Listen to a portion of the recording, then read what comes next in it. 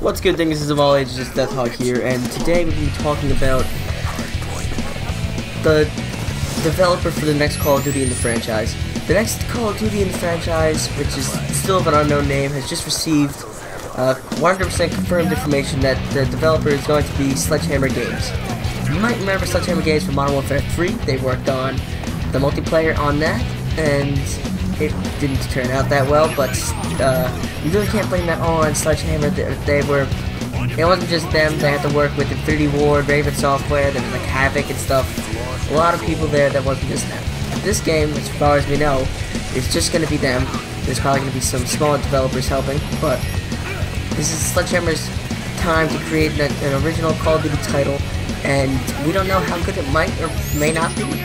So the only thing we can really do is hope, and hope that Sledgehammer Games is a community-oriented uh, company, so they'll actually listen to the community. Uh, Infinity Ward really doesn't do that. Treyarch really does with the, uh, they're really connected to social media, and they will, like, answer questions and stuff, and they will listen to what the community needs, so hopefully Sledgehammer is more community-oriented than at least in Infinity Ward, and they will probably get a half-decent game running. And they did release a statement, and it was very inspirational, if you would call it that. So, there is hope.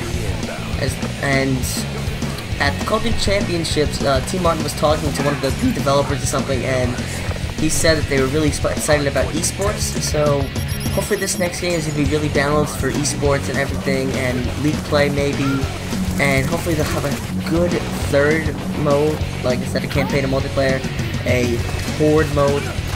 Who knows, maybe Treyarch will give them zombies, just so, like, it can continue instead of waiting three years to play the four zombie maps, and, yeah, so, now they have the three-year cycle, I was worried about something that they're going to be working three years for a game that's only to last one year. And I mean, they're doing that now. I mean, people could deal with it for the one year, but now they're to have more time to make the game better. But what does that mean for the DLC? Are we still to only get the, the four DLC packs? Or are they to do what Battlefield does, which I think is the route they need to take?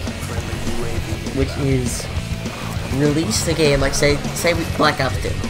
Black Ops 2 comes out and we get maybe uh, four DLCs. And then Modern Warfare, uh, Call of Duty Ghosts comes out. Now, throughout Call of Duty Ghosts, we get an extra two DLCs during Call of Duty Ghosts, which is similar to what Battlefield does. Battlefield, Battlefield 3 came out, they had two DLCs, and then Medal of Honor Warfighter came out, which is also made by DICE and stuff. So that came out, and I, I don't know if they released DLC for that, but I know they kept releasing Battlefield uh, DLC. This would prolong the lifetime of all the games. It would give the developer the developers more stuff to keep the community on their game, and I think that would be the right turn for Call of Duty to make if they want to please the community. So like everyone has their favorite company, they can still get the game, get the DLC longer. So maybe Black Ops 2 would have a life cycle.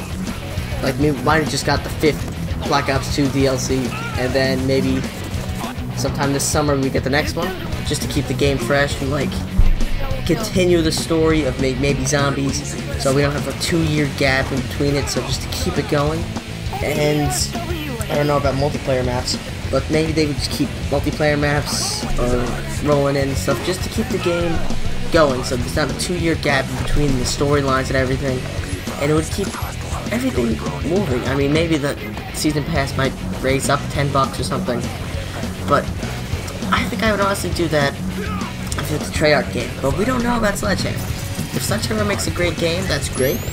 So, that's all we can do is hope for the future, and hopefully Sledgehammer makes a decent game, so, alright guys, that's basically it. That's all I wanted to talk about. I just heard of this, I had to make a video, so, expect great things in the future. This has been Death Hog, do for that like button.